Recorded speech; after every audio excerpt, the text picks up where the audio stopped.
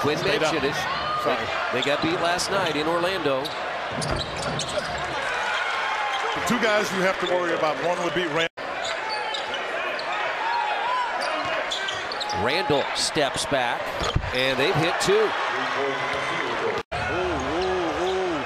He's down because of the, he hit a cameraman. Nesmith is down. Pacers have started two of nine, 0 of five from three, and that's a three by Brunson. Yeah, he's going to look for it because he didn't play that as well as they needed. Halliburton looking for guys to run with him. DiVincenzo got in the mix and picked up the steal. He's been shooting the three well. Off the bench for the Pacers. They lob it now to Randle. You got to go help. Randle knows he can beat him. You got to go help. I mean, this is the nuance when you play a player. Randle. No good. Rebound, and there's another offensive rebound. Randle got it.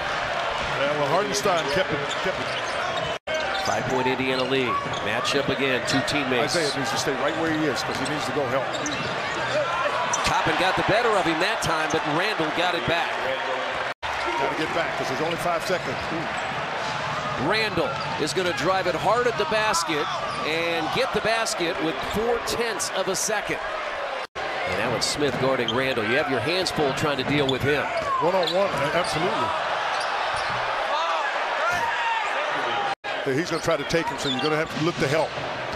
And I could, yeah, Jenny, Jenny Busick was saying help. His, that's his fifth. I mean, he has made a final game of 2023. Go back. Yeah, they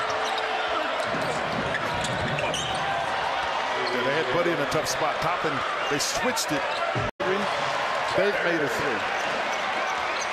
21 threes for the Pacers. Offensive foul. They didn't get it. The whole bench went up on that one.